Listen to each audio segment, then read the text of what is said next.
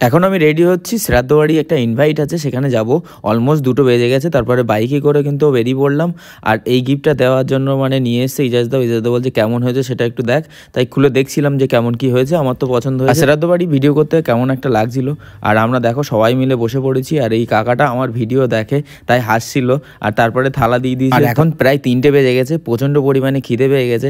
কারণ আমাদের চারজনের একসঙ্গে যাওয়ার কথা ছিল কিন্তু একজন আসেনি তার জন্য ওয়েট করছিলাম। এরপরে কিন্তু লেবু দিয়ে দিয়েছে। আর লেবু খেতে আমার কিন্তু খুব ভালো লাগে, তাই কাকার কাছে আর একটা চাইছিলাম। তা কাকা প্রথমে শুনতে পাইনি তারপর বলল আমাকে আর একটা লেবু দাও, তারপরে আমাকে আর একটা লেবু দিয়েও গেছে। প্রথমেই দিয়ে দিয়েছে গরম দেরাদুন রাইস, ঝরঝরে, দেখো কত সুন্দর, আমার তো খুব ভালো লাগে এই চালের ভাত খেতে। আর সঙ্গে দিয়ে দিয়েছে লাল শাক ভাজা। তারপরে চলে এলো সুপ্তো, যার কথা না বললেই নয় মানে এখন এডিটিং করতে এসে আমার আবার জিভে জল চলে এসছে মানে সুপ্তো খেতে আমার খুব ভালো লাগে, তাই কিন্তু আমি কিন্তু আবার সেকেন্ড টাইম নিয়ে নিয়েছি। আর পাশে পুচু ছিল, পুজো বলছে হ্যাঁ আমারও ভালো লাগে খুব খেতে। তাই শুক্তো দিয়ে অনেকটা ভাতই খেয়ে নিলাম আর অনেকটা লেট হয়ে গেছিল বলে একটু বেশি করেই খেয়ে নিলাম। যাই হোক, এরপরে কিন্তু চলে এসছে মুড়ো ঘন্ট ডাল। আর এখানে দেখো অনেকটাই দিয়েছে আমাকে। আর এতটাই খেয়েছি যে পরের খাবারগুলো আমি আর খেতে পারছি না। মানে তখন একটু কষ্ট হয়ে গেছে মানে খিদে পেয়েছিল তো, তাড়াতাড়ি অনেকটাই কিন্তু খেয়েছি। আর এইদিকে ইজাজদা মানে খাওয়া দাওয়ার মধ্যে ফোন করছে। আর এর মধ্যে কিন্তু আমাদের চলে এসছে মাছ। আর এই দিকটায় দেখো প্রথমে আমাকে দিয়েছিল দাগা। তারপরে আমি ওটাকে চেঞ্জ করে আমি আবার কিন্তু পেটি নিয়েছিলাম। মানে পুচু আমাকে চেঞ্জ করে দিয়েছিল। তো যাই হোক, তারপরে কিন্তু স্যালাড চলে এসছে। আর স্যালাডটা খেতে আমার খুবই ভালো লাগে। এর মধ্যে আবার মাংস চলে এসছে। আর মাংস আমি দু পিস নিয়েছি, বেশি নিইনি। কারণ আমার পেটে অনেকটাই জায়গা কমে গেছে। আর সবাই এক জায়গায় বসলে যেটা হয়, জয়কে জোর করিয়ে কিন্তু ভাত নিতে বাধ্য করেছি।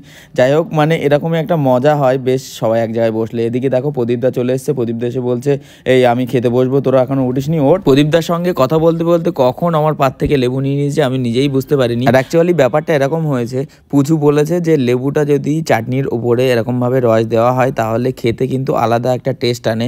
ওর স্মেলটা অন্যরকম একটা দারুণ স্বাদ আনে। তাই কিন্তু ইজাজদা নিয়েছিল আমার পাত থেকে, তাই আমি একটু নিয়ে নিলাম। খেতে সত্যি অন্যরকম একটা টেস্ট এনে দিয়েছিল। তারপরে দিয়ে দিয়েছে পায়েস, সঙ্গে দিয়ে দিয়েছে এরকম লাল লেডিকানি ও হো হো, লাল লেডিকানি খেতে যা আমার খুব ভালো লাগে। তাই এদিক ওদিক না তাকিয়ে একেবারে কিন্তু মুখের মধ্যে দিয়ে দিলাম। তার পরপরই কিন্তু সাদা মিষ্টি চলে কিন্তু খাওয়ার পরে আমি বেশি মিষ্টি খেতে পারি না। তাই ইজাজদাকে মনে করছিলাম একটা দিয়ে দেবো। তারপরে আমি নিজে একটা খেয়েছি আর আর একটা আমি ইজাজদার পাতে তুলে দিচ্ছি। ইজাজদা বলছে, না, আমার অত উপকার করতে হবে না, তুই এখনই তোল।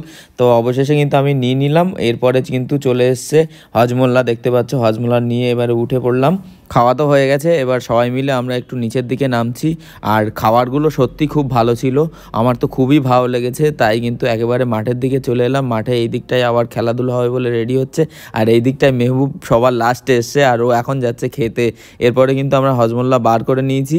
হজমোল্লা নিয়ে এবার খেয়ে কিন্তু খেলা দেখব আর খেলার মজাটা নেব। তারপর ওখানে একটা সাইকেল ছিল, বাচ্চাদের সাইকেল।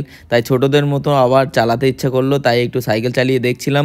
তো আজকের এই ভিডিওটা তোমাদের কেমন লেগেছে, অবশ্যই লাইক কমেন্ট শেয়ার করে জানিয়ে দিও। আর এরকম শর্ট ভিডিও দেখতে অবশ্যই কিন্তু আমার পেজটাকে ফলো করে দিও। কারণ দশ হাজার ফলোয়ার হতে আর কিছু বাকি আছে, তাই বেশি দেরি না করে ভিডিওতে লাইক করে এখনই গিয়ে ফলো করে দাও। টাটা!